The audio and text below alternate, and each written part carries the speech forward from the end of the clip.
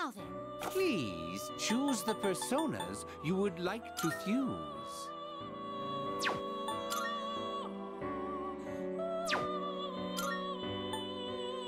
this one is somewhat beneath what do you wish to inherit? It appears it will receive an im- A new power emerges.